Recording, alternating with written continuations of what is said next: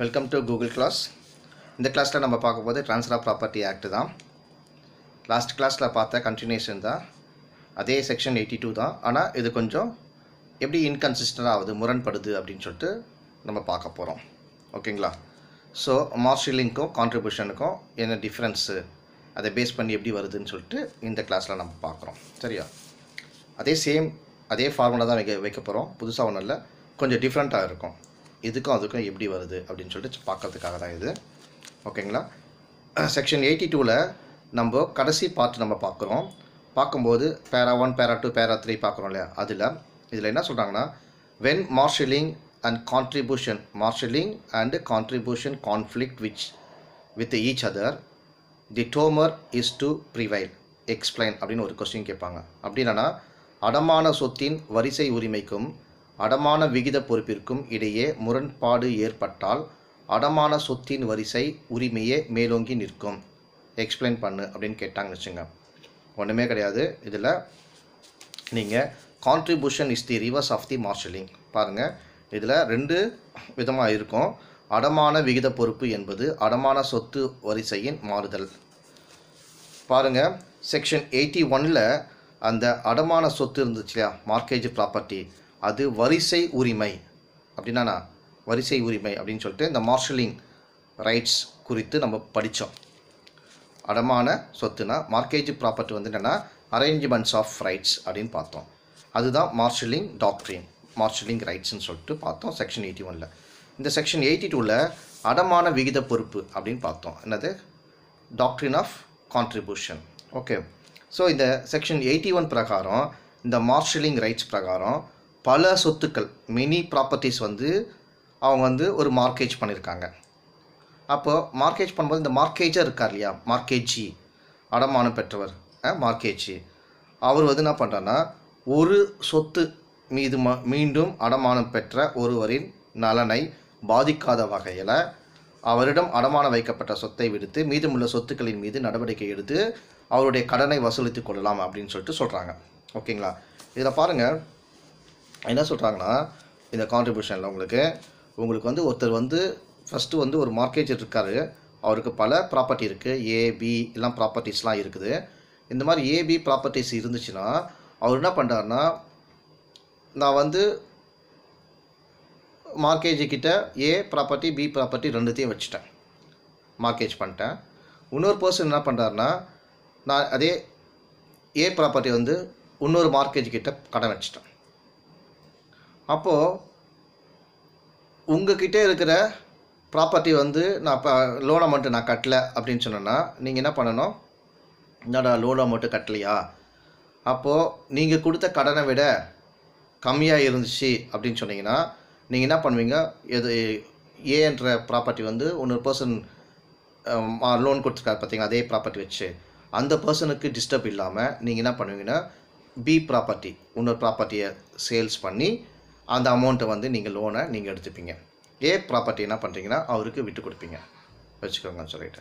Okay இது formula so ஆனால் AB ரெண்டுமே உங்ககிட்ட இருக்குது. ஏ ப்ராப்பர்ட்டியே இன்னொரு பர்சன் வந்து நான் வந்து மார்க்கேஜ் பண்ணியிருக்கேன் லோனுக்கு அந்த ஏபி ப்ராப்பர்ட்டியே நீங்கள் கொடுத்த லோனுக்கு பத்தலை. ஓகேங்களா? ஒன் லேக் வாங்கிட்டுனா அது வந்து ப்ராப்பர்ட்டி ஒர்த்தே நைன்ட்டி தௌசண்ட் தான். அப்போ நீங்கள் அங்கே கொடுக்க முடியுமா? அப்போது உங்களை தொந்தரவு பண்ணக்கூடாது அப்படின்னு சொல்லிட்டு செகண்ட் மார்க்கேஜே சொல்கிறாங்க ஓகே அந்த பாதிக்காத வகையில் இருக்கணும் அப்படின்னு சொல்கிறாங்க பார்த்தீங்களா அவற்றில் ஒரு சொத்தின் மீது மீண்டும் அடமானம் பெற்ற ஒருவரின் நலனை பாதிக்காத வகையில். அதுதான் ஒரே ப்ராப்பர்ட்டி நீங்கள் வச்சுருக்கிற ப்ராப்பர்ட்டியை இன்னொரு ப்ராப்பர்ட்டி வச்சுருக்காருன்னா அந்த ப்ராப்பர்ட்டி யாரும் டிஸ்டர்ப் பண்ணாதபடி அவரிடம் அடமானம் வைக்கப்பட்ட சொத்தை தவிர மீதமுள்ள சொத்துக்களின் மீது நடவடிக்கை எடுக்க தனது கடனை வசூலித்து கொள்ளலாம் அப்படின்னு சொல்கிறாங்க அப்போது இன்னொரு பர்சன்ஸ்க்கு வந்து நீ விட்டு கொடு அப்படின்னு சொல்லிட்டு ஃபஸ்ட்டு மார்க்கேஜியை டிஸ்கிரைப் பண்ணுறாங்க ஓகேவா ஆனால் இங்கே செக்ஷன் எயிட்டி டூ கீழான என்ன பார்த்தீங்கன்னா அடமான விகித பொறுப்பு கோட்பாடோ இங்கே கான்ட்ரிபியூ செக்ஷன் எயிட்டி டூவில் கான்ட்ரிபியூஷனாக ஆஃப் மார்க்கேஜ் பற்றியோ எல்லா அடமான சொத்துக்களும் எல் ஆல் மார்க்கேஜ் ப்ராப்பர்ட்டியும் அந்தந்த வேல்யூக்கு ஏற்ற மாதிரி தான் அவங்களுடைய லோனை வந்து அவங்க ஷேர் பண்ணி ப்ரொபோர்ஷனேட் முறையில் தான் வந்து ஷேர் பண்ணி அவங்க லோன் பேமெண்ட் பண்ணணும் அப்படின்னு சொல்லிட்டு செக்ஷன் எயிட்டி டூவில் சொல்கிறாங்க எயிட்டி ஒனில் மார்ஷலிங் கோட்பாடு வரிசை பிரகாரம். அவனை டிஸ்டர்ப் பண்ணாத ஃபஸ்ட்டு ஒன் ரெண்டு மூணு மார்க்கேஜ் இருப்பாங்க அது பிரகாரம்னு சொல்லிட்டு எயிட்டி ஒனில் படித்தோம் எயிட்டி டூவில் ப்ரொபோர்ஷனேட் முறையில் நீங்கள் கொடுக்கணும் அப்படின்னு சொல்கிறாங்க லோன் அமௌண்ட்டை அடைக்கணும் அப்படின்றாங்க. ஓகேவா ஸோ ஏற்கனவே பார்த்ததை நம்ம ரிவர்ஸ் பண்ணுறோம் ஓகே அதே தான் அதனால் இந்த ரெண்டு உரிமைகளின்படி இந்த ரெண்டு ரைட்ஸ் எயிட்டி ஒனில் சொல்கிற ரைட்ஸும் செக்ஷன் எயிட்டி ஒனில் சொல்கிற ரைட்ஸும் செக்ஷன் எயிட்டி டூவில் சொல்கிற ரைட்ஸும் இந்த ரெண்டு உரிமைகளின்படியும் இந்த சொத்துக்களின் மீது உரிமை பெற்றவர்கள் யார்? இந்த ப்ராப்பர்ட்டி மேலே இருக்கிற ரைட்ஸ் கொண்டவர் யாருன்னா அவருடைய நலன்கள் நல்ல முறையில் பாதுகாக்கப்பட்டுள்ளது அப்படின்னு நம்ம சொல்லலாம். ஓகேவா சரி இருந்தாலும் இதற்கிடையே ஒரு முக்கியமான ஒரு டிஃப்ரெண்ட் இருக்குது முக்கியமான ஒரு வேறுபாடு ஒன்று இருக்குது. என்னது? மார்ஷலிங் ரைட்ஸில் அந்த மார்க்கேஜ் பெற்றவர் யார்? இப்போ மார்க் மா மார்ஷலிங் ரைட்ஸில் அந்த மார்க்கேஜி இருக்கிறார் இல்லையா? அப்போ மார்க்கேஜி டைமில் இருக்கும்போது அவர் வந்து லோன் பேமெண்ட்டை வந்து வாங்கணும் அப்படின்னு ஃபீல் பண்ணுறாரு அப்படின்னா மார்ஷலிங் ரைட்ஸ் என்ன சொல்லுதுன்னா ஒரு ரூல்ஸை வந்து ரெகுலேட் பண்ணி கட்டுப்படுத்துது ஒழுங்குபடுத்துது. சரியா? அது அதுக்கு ஆப்போசிட்டாக ஆப்போசிட் இது வந்து ஒட்- கட்டுப்படுத்துது கட்டுப்படுத்துது? ஏ ஏ மா ஃபஸ்ட்டு மார்க்கேஜ் நீ என்ன பண்ணுற உங்ககிட்ட ஏபி ப்ராப்பர்ட்டி இருந்துச்சுன்னா உன் லோன் அமௌண்ட்டுக்கு மட்டும் நீ எடுத்துக்கோ. மீதி ப்ராப்பர்ட்டி அப்படியே விட்டுடு. உன்னை செகண்ட் மார்க்கேஜ் யாருன்னா இருந்தாங்கன்னா அவன் அடைச்சிக்கிட்டோம். செகண்டாக வந்து வந்திருக்கான். நீ தேர்டு தான் திருப்பி கொடுத்துருக்க. அப்படின்ற மாதிரி மா மார்ஷலிங்கில் நம்ம பார்த்தோம். சரியா?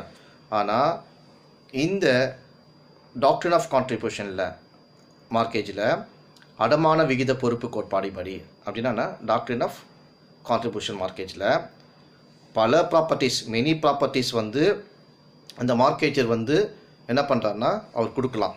கொடுக்கும்போது அந்த மார்க்கேஜரை வந்து இந்த டாக்டர் ஆஃப் கான்ட்ரிபியூஷன் பேஸ் பண்ணி மார்க்கேஜரை வந்து கண்ட்ரோல் பண்ணுது. மார்ஷலிங் வந்து மார்க்கேஜை கண்ட்ரோல் பண்ணுது. டாக்டரின் ஆஃப் கான்ட்ரிபியூஷன் வந்து மார்க்கேஜரை கண்ட்ரோல் பண்ணுது. ஓகேவா பாருங்கள் பல சொத்துக்களை அடமானம் வைத்தவர்களின் உரிமைகள் ஒழுங்குபடுத்தப்படுகின்றன. மார்க்கேஜர் இங்கே அடமானம் வைத்தவர் யார்? மார்க்கேஜர் இவருடைய ரைட்ஸை வந்து கண்ட்ரோல் பண்ணுது இது section eighty two eighty one mortgage loan கொடுத்தவங்கள control பண்ணுது ஒழுங்குபடுத்துது ரெகுலேட் பண்ணுது ஓகேங்களா இதுதான் எனவே தான் இங்கே அடமான விகித பொறுப்பு கோட்பாட்டை மார்ஷலிங் உரிமையின் அதாவது அடமான சொத்து வரிசையின் மாறுதலை ரிவர்ஸ் என்கிறோம். அதனால தான் பார்த்தீங்கன்னா இங்கே அடமான விகித பொறுப்பு கோட்பாடு இங்கே டாக்டரின் ஆஃப் கான்ட்ரிபியூஷன் வந்து என்ன சொல்கிறாங்கன்னா மார்ஷலிங் ரைட்ஸ் மார்ஷலிங் ரைட்ஸினுடைய மார்க்கேஜ் ப்ராப்பர்ட்டியினுடைய ரிவர்ஸ்ன்னு அப்படின்னு சொல்கிறாங்க அதாவது மார்ஷலிங் உரிமையின் அடமான சொத்து வரிசையின் மறுதலை என்கிறாங்களாம் ரிவர்ஸ்ன்னு சொல்கிறாங்களாம் ஓகே சரி அடுத்தது பாருங்கள் இன்னொன்று இது கொஞ்சம் நல்லா தான் இருக்கும். அதிலேயே கண்டினியூஸு அட் அடமான விகித பொறுப்புக்கான உரிமையானது அடமான சொத்து வரிசை உரிமையினால். அடமான சொத்து வரிசை உரிமையினால் என்னது? மார்ஷலிங் உரிமை. மார்ஷலிங் ரைட்ஸ் அப்படின்னா மார்க்கேஜ்னுடைய ப்ரொபோஷனியேட் ரைட்ஸ் எப்படி இருக்குதுன்னா அது மார்க்கேஜ் ப்ராப்பர்ட்டி வந்து அரேஞ்ச்மெண்ட்ஸ் ஆஃப் ரைட்ஸ் இருக்குது. அதை வந்து கண்ட்ரோல் பண்ணுறது தான் மார்ஷலிங்கு ஆர் அடமான சொத்தின் வரிசை உரிமைக்கு அடமான விகித பொறுப்பிற்கும் இடையே முரண்பாடு. டாக்டரின் ஆஃப் கான்ட்ரிபியூஷனுக்கும் மார்ஷலிங் டாக்டரினுக்கும் ஏதாவது இன்கன்சிஸ்டன்ட் ஆச்சுன்னா அப்போது என்ன மாதிரி சுச்சுவேஷன் வரும்? எது அதிக மழை ஓங்கி நிற்கும்? எது ஹையஸ்ட்டாக நிற்கும்? எதை விட்ரா பண்ணலாம்? அப்படின்னு சொல்லிட்டு ஒரு கொஸ்டின் கேட்குறாங்க இதில்.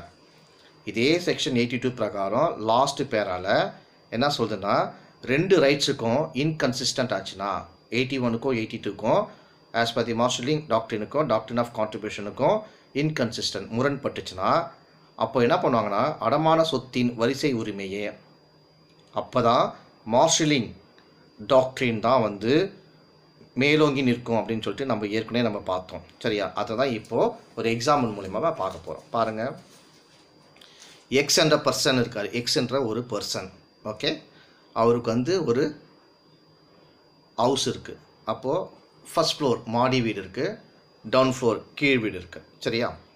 அப்போது இவருக்கு வந்து மாடி வீடு கீழ் வீடு. Okay first floor down floor ரெண்டு இருக்குது யாருக்கு? எக்ஸ் இவர் தான் மார்க்கேஜர் இங்கே. அவர் என்ன பண்ணுறாருனா எக்ஸு என்ன பண்ணுறாருனா இந்த ஃபஸ்ட் ஃப்ளோரை வந்து என்ன பண்ணுறாருனா ஏ என்ற மார்க்கேஜி கிட்ட மார்க்கேஜ் பண்ணுறார் ஏ என்ற பர்சன்ஸ் கிட்ட அடமானம் வைக்கிறார்.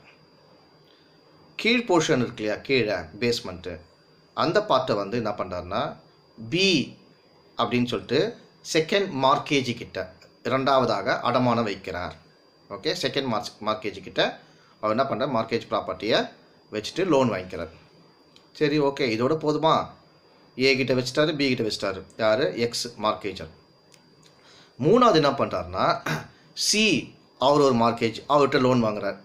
என்ன லோன் வாங்குறாருன்னா ஃபஸ்ட் ஃப்ளோரையும் டவுன் ஃப்ளோர் ரெண்டுத்தையுமே சேர்த்து சி என்ற மார்க்கேஜ் கிட்ட மார்க்கேஜ் ப்ராப்பர்ட்டி வச்சுட்டு அவர் என்ன பண்ணுறாருன்னா லோன் வாங்கிக்கிறார். அதோடு விட்டாச்சா நெக்ஸ்ட் என்ன பண்ணுறாருன்னா டி என்ற மார்க்கேஜ் ஃபோர்த்து மார்க்கேஜ் இருக்கார்ல அவர் லோன் கொடுக்குறாரு. யார்? இந்த எக்ஸ் என்ற மார்க்கேஜ் இருக்குது ஃபஸ்ட்டு ஃப்ளோரை லோன் அதை டாக்குமெண்ட் மார்க்கேஜ் பண்ணி லோன் வாங்கிக்கிறார் பாருங்கள் ஏபிசிடி நாலு மார்க்கேஜ் வந்துட்டாங்க. ஒரே ஒரு பர்சன் தான் எக்ஸ் என்ற மார்க்கேஜர் அவர் தான் கஸ்டமர் வச்சுக்கோங்க. ஓகே இங்கே செக்ஷன் எயிட்டி டூ பார்த்தீங்கன்னா அது கீழே எயிட்டி டூவில் என்ன சொல்லுதுன்னா அடமான விகித பொறுப்புப்படி அப்படின்னா டாக்டரின் ஆஃப் கான்ட்ரிபியூஷன் படி இந்த மாடி வீடு ஃபஸ்ட் ஃப்ளோரும் கீழே டவுன் ஃப்ளோரும் மா ஃபஸ்ட் ஃப்ளோரு டவுன் ஃப்ளோரு ரெண்டுமே சியின் அடமானங்களுக்கு. சி கிட்ட இருக்கிற அந்த மார்க்கேஜுக்கு அவங்க விகிதப்படி அவருடைய லோனை அவர் செலுத்தணும். ஓகே ஏன்னா மாடி வீடு ரெண்டுமே கொடுத்துட்டார். அப்போது ப்ரொபோஷனேட்டாக அவர் வந்து ஷேர் பண்ணி பண்ணணும். ஆனால் இதே சுச்சுவேஷனில் செக்ஷன் எயிட்டி ஒன் கீழே பார்க்கும் பொழுது அந்த மார்க்கேஜ் ப்ராப்பர்ட்டி எப்படின்னா வரிசை உரிமைப்படி தான் மாடி வீட்டு வரிசை உரிமைப்படி தான் பின்னர் மாடி வீட்டை அடமானம் பெற்ற டி ஆனவர் என்ன பண்ணுறாருன்னா முதலில் கீழ் வீட்டிற்கு எதிராக நடவடிக்கை எடுக்கிறார்.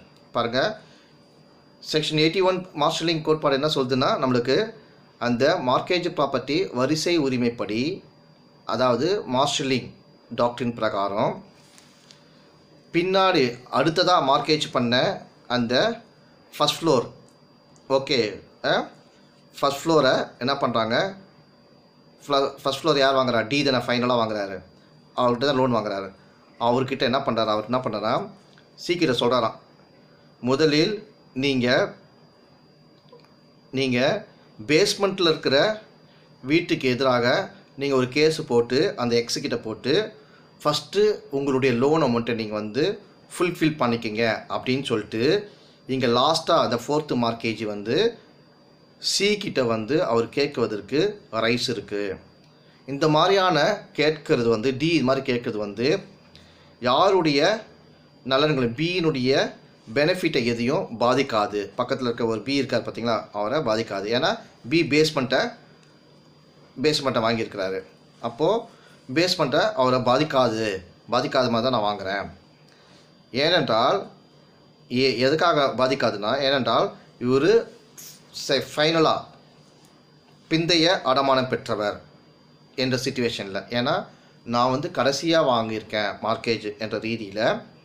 அந்த சியினுடைய நலன் சியினுடைய மார்க்கேஜினுடைய பெனிஃபிட்டினுடைய அந்த மார்க்கேஜ் ப்ராப்பர்ட்டியினுடைய வரிசை உரிமைப்படி அதாவது மார்ஷலிங் கோட்பாடுபடி பாதுகாக்கப்பட வேண்டும். ஓகே பாருங்கள் நல்லா புரிஞ்சுக்குங்க. உங்களுக்கு கிளியராக சொல்கிறேன் முதலாவது என்ன பண்ணுறேன்னா செக்ஷன் எயிட்டி ஒன் என்ன சொல்லுது மார்ஷலிங் கோட்பாடு. மார்ஷலிங் கோட்பாடு. அடமான சொத்தின் வரிசை உரிமைப்படி. பின்னர் அந்த மாடி வீட்டை அடமானம் பெற்றவர் யார்? டி டி ஆனவர் என்ன பண்ணுறாருன்னா சிஐ பேஸ்மெண்ட்டு அந்த வீட்டிற்கு எதிராக நீங்கள் நடவடிக்கை எடுங்க. எடுத்துட்டு சியுடைய உடைய கடனை நீங்கள் வந்து நீங்கள் அடைச்சிக்கலாம் அப்படின்னு சொல்லிட்டு டி கேட்குறாரு ஏன்னா டி தான் லாஸ்ட்டாக லோன் கொடுத்தவர். ஓகேவா ஸோ இந்த மாதிரி டி கேட்குறதுனால ஃபஸ்ட் டி கேட்குறதுனால பியினுடைய பெனிஃபிட் வந்து இங்கே எதுவுமே பாதிக்காது அப்படின்னு கேட்குறாரு ஓகே பியினுடைய எதுவுமே அவருக்கு நஷ்டம் வராது. ஏனென்றால் பி வந்து ஃபஸ்ட்டு மார்க்கேஜி ஃபஸ்ட்டு மார்க்கேஜில் அவர் வந்து ஆல்ரெடி பெனிஃபிட்டாக இருக்கிறாரு அதனால் அவர் வந்து சியினுடைய ந நடவடிக்கைகள் சியினுடைய ப்ரொசீஜர் வந்து அவரை பாதிக்காது அப்படின்னு சொல்கிறார் ஓகேவா ஏனெனில் இந்த பிந்தைய அடமானம் பெற்றவர் என்னும் ரீதியில் தான் சியினுடைய நலன் வந்து அடமான சொத்து வரிசைப்படி மார்ஷலிங் கோட்பாடுபடி பாதுகாக்கப்பட வேண்டும். இந்த மாதிரியான அடமான சொத்து வரிசை உரிமையானது அப்படின்னா வரிசை உரிமைனா மார்ஷலிங் உரிமை அடமான விகித பொறுப்பை விட மேலோங்கி நிற்கும். அப்படின்னா அடமான விகித பொறுப்பினராக டாக்டரின் ஆஃப் கான்ட்ரிபியூஷனை விட மாஸ்டர்லிங் ரைட்ஸ் தான் ஃபஸ்ட்டு ஸ்டாண்டர்டாக இருக்கும். ஏன்னா ரெண்டுக்குமே இந்த இன்கன்சிஸ்டாக தான் இருக்குது. ஷார்ட்டாக சொல்லணும்னா எயிட்டி டூ செக்ஷன் வந்து எயிட்டி ஒனில் என்ன சொல்லிட்டு இருந்தாலுமே அந்த மாஸ்டர்லிங் டாக்டரினுக்கு வந்து தான் இந்த எயிட்டி டூ வந்து ஒபே பண்ணணும் அப்படின்னு சொல்லிட்டு இதில் முடிச்சிடுறாங்க. ஓகேவா அதாங்க இது கேஸு. ரைட்ஸ் பிரகாரம் இங்கே ப்ரொபோஷனேட் பண்ணக்கூடாது. மார்ஷலிங் டாக்டரினில் நீங்கள் என்ன படிச்சீங்களோ அது பிரகாரம் தான் இதை ப்ரொபோஷனேட் பண்ணி இந்த கேஸை நீங்கள் முடிக்கணும். ஓகே லாஸ்ட் ரோ கரெக்டாக அதை படிக்கிற பாருங்கள் எயிட்டி ஒன் கீழான அடமான சொத்தினுடைய அந்த வரிசை உரிமைப்படி தான் அதாவது வரிசை உரிமைப்படினா மார்ஷலிங் ரைட்ஸு பிறகு அவர் என்ன பண்ணுறாருன்னா மாடி வீட்டை அந்த மார்க்கேஜ் பெற்ற டி என்ற மார்க்கேஜி சி மார்க்கேஜியை அவர் பேஸ்மெண்ட்டு அந்த ப்ராப்பர்ட்டிக்கு அகைன்ஸ்டாக ப்ரொசீஜர் எடுங்க கோர்ட்டில் எடுத்துகிட்டு நீங்கள் சிக்கு தேவையான லோன் அமௌண்ட்டை நீங்கள் வாங்கிக்கிங்க மார்க்கேஜர்கிட்ட அப்படின்னு சொல்லிட்டு டி சொல்கிறாராம் டி இது மாதிரி கேட்குது எ- எதுக்காக கேட்குறாருன்னா பியினுடைய பெனிஃபிட் வந்து எந்த விதத்திலும் பாதிக்காது. ஏன்னா பி இங்கே என்ன பண்ணியிருக்காருன்னா பி அவரும் பேஸ்மெண்ட் வீட்டை தான் அடமானம் வச்சுருக்காங்க. இங்கே டி கேட்குறது வந்து இது பிக்கு எதுவுமே அங்கே வந்து பாதிப்பு வராது. அவருக்கு எதுவுமே லாஸ் வராது அப்படின்னு சொல்லிட்டு இங்கே டி சொல்கிறாரு எதனாலனா எதனால் சொல்கிறாரு அப்படின்னு சொன்னோன்னா நோட்டீஸ் கொடுத்துருக்கணும் நோட்டீஸ் கொடுக்கல மார்ஷலிங் டாக்டரின்லாம் வருது பார்த்தீங்களா இதை பேஸ் பண்ணி தான் ஓகேவா ஸோ அதனால் பி வந்து ஃபஸ்ட்டு ஃபஸ்ட்டு வருது மார்க்கேஜர் ஃபஸ்ட்டு ஃபஸ்ட்டு மார்க்கேஜி அதனால் அப்படி ஆதலால் அதனால் சி பண்ணுற ப்ரொசீடிங் வந்து பியை வந்து எந்த விதத்தும் லாஸ் ஆக்காது. ஏனென்றால் அவர் வந்து ஏனென்றால் டி என்ற பர்சன்ஸ் வந்து ஃபைனலாக எல்லாருக்கும் பின்னாடி தான். எல்லாருக்கும் கடைசியாக லாஸ்ட்டில் தான் இவர் வந்து மார்க்கேஜ் பெற்றிருக்காரு. மார்க் மார்க்கேஜ் டாக்குமெண்ட்டை ரிசீவ் பண்ணி லோன் கொடுத்துருக்குறாரு மார்க்கேஜருக்கு. எனவே சியினுடைய நலன் அடமான சொத்து உரிமை வரிசைப்படி ஏனென்றால் சியின் நலனுக்காக அடமான சொத்து உரிமை வரிசைப்படி மாஸ்டர்லிங் கோட்பாட்டுப்படி பாதுகாக்கப்பட வேண்டும். ஓகேங்களா? அப்போது சி என்ன பண்ணுறாரு நேரடியாக நீங்கள் பேஸ்மெண்ட்டை நீங்கள் விற்காதீங்க ஓகே மேலே மட்டும் நீங்கள் பண்ணிக்கிங்க. ஓகேங்களா? இப்படி பண்ணுறதுனால வி என்ற பர்சன் அவருக்கும் பாதிப்பு கிடையாது. எந்தும் பேஸ்மெண்ட்டு தான். அப்போது நானும் லோன் கொடுத்துருக்கேன். நானும் பெனிஃபிட் ஆவேன். பியும் பெனிஃபிட் ஆவார். ஓகேங்களா? இதில் நாங்கள் ரெண்டு பேர் பெனிஃபிட் ஆகும் அப்போது நீங்கள் ஏதாவது ஒரு ஏதாவது ஒன்று மட்டும் நீங்கள் க்ளைம் பண்ணிக்கங்க. இங்கே பெனிஃபிட்டட் வந்து இங்கே நிறைய பேர் இருக்கும். அப்போது இதுதான் சொல்கிறாங்க மாஸ்டர்லிங் ரைட்ஸ் வந்து இதுதான் உங்களுக்கு எக்ஸ்பிளைன் பண்ணுறாங்க ஓகேங்களா புரிஞ்சுதுங்களா? ஓகே சப்ஜெக்ட் புரிஞ்சிச்சுன்னா நான் இப்போ சொன்ன கண்டென்ட் வந்து உங்களுக்கு புரியும். ஓகேங்களா ரெண்டு தடவை மூணு தடவை படிங்க. ஓகே புரியலன்னா திருப்பியும் கேளுங்க. ஓகேவா okay viewers okay students wish you all the best happy day bye thank you